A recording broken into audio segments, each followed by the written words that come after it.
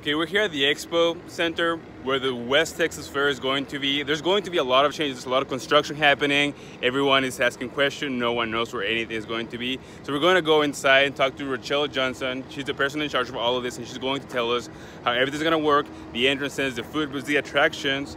Uh, so let's go, let's go to it. Hi, I'm Rochelle Johnson with the West Texas Fair and Rodeo and the Taylor County Expo Center. And what we see behind us is the second phase of our construction. This will be the new event center for all horse shows and uh, livestock shows. We'll move all dirt events out of the Coliseum and to this new event center. Uh, it will not be completed by fair time, but it will be completed by the time we get to the Western Heritage next year.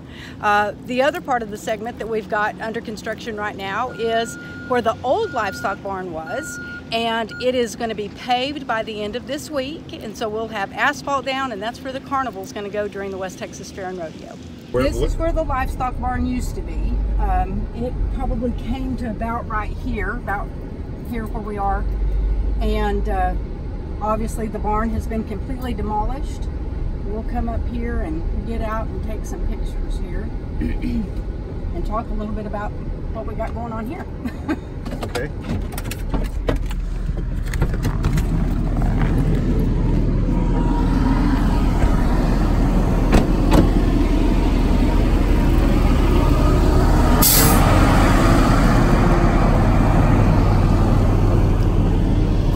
Has always been down there where the new building is, is being built. Okay. Because there was a barn here that came, well, from the fence line there all the way, uh, not quite to where that big light pole is, but all the way down there.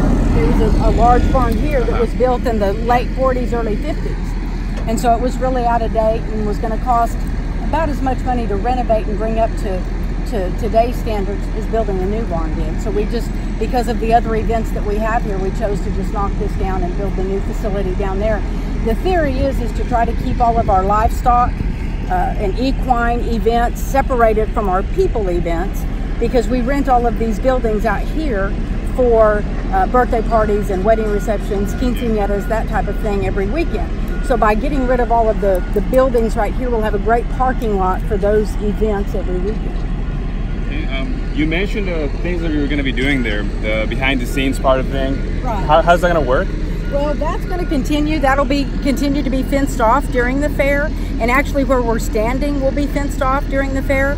But as we look over here to the general office, we'll have a pathway from the, the front part of the facility that'll come over to the carnival area and then down into our food booth area. We'll also be utilizing our east entrance, which is one of our main entrances, as a place for people to come in for the fair. So you mentioned the fair is going to be that way. That, that way. So we can turn around here and look at it. Um, what we have here, you can see that they're still watering uh, and, and getting the ground prepared. It's going to get asphalt put down on it by the end of this week.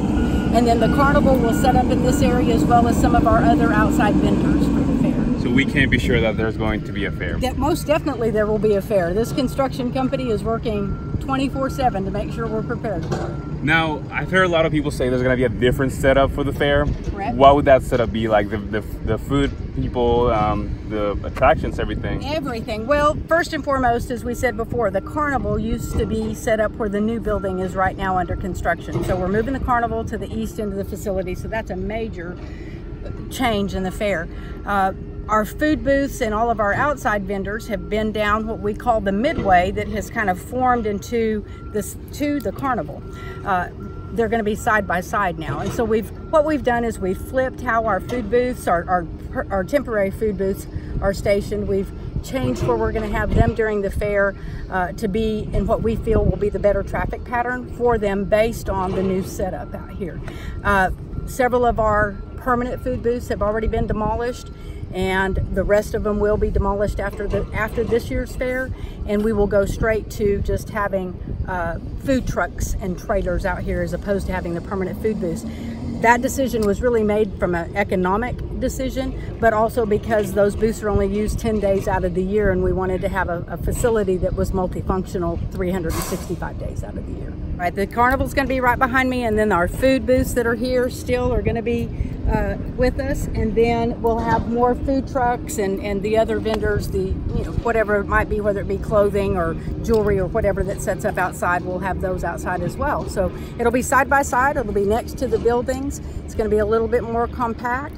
But once we get this area developed in phase three, as well as, as getting the second facility finished in phase two, the traffic flow will, will really make sense to everybody. So it used to work that people come in here from different areas. Right there, we see the, the Wheel Stadium, and there the main gate. But now this is going to change. Because there's a lot of construction happening. Can you tell us more about that? Well, what we plan to do this year is to continue to use the north gate that's east of the Coliseum. That's been our main uh, focus because of the large parking lot there, as well as this east gate uh, uh, closer to the airport those people that are parking over on our west parking lots as well as parking over at Shotwell, we will have shuttles to bring them back and forth. Uh, we made the decision not to bring them next to the construction of the new facility because we didn't feel that was safe. So we're going to pull them around the parking lots and bring them in with shuttles. And you think it's going to be there's going to be enough parking lot for everything for everyone? I believe that there will be. We've we've you know going to have to just adjust a little bit and, and be happy with one another, but we're going to have to make it through this construction. It's just just a little bit of that has to go on. Okay, so can you just point directly where's the entrance going to be? Okay, well that we have this main entrance right up here. I don't know if you can see the stop sign, but I always refer to the zoo sign. We're kind of across from the zoo uh, main entrance to come into our large parking lot here. And then if you'll see the rock gate or the rocks down here, the rock pillars, that'll be the other entrance that people can come through. There will only be those two entrances? Yes, for our, our, v, our spectators. Now we'll have livestock gates that'll be open for different events and our rodeo gates, but for our general public spectating, those will be the gates we ask you to come through. As you can see, this is where the West Texas Fair and Rodeo is going to be. And we talk about the food, we talk about how we're going to get in, the attractions, how everything is going to be. Now let's talk about the dates. How is this going to work? When is it going to be? Well, we'll start taking uh, entries to our creative arts on September the 3rd, so that's Tuesday after Labor Day. Thursday on the 5th of September will be Sneak a Peek. Well, every, everybody can come on the grounds free of, of charge, but get to see all of the rides and so forth that are available. And then starting on the 6th, running through the 14th of September will be the West Texas Fair and Rodeo. We've got a great lineup of entertainers on our stage. Uh, we've got great livestock shows, great rodeo planned, and so we just hope everybody will come out. Thank you very much, Rochelle. Uh, that was that was very helpful. Um, I, I, know people will appreciate that. I know this is a big deal in Abilene, and. Uh, Anything else you want to tell us? No, just thank you very much for coming out. We look forward to seeing you during the fair. All right. Well, this is Martin Mercado with Big Country Homepage. Thank you.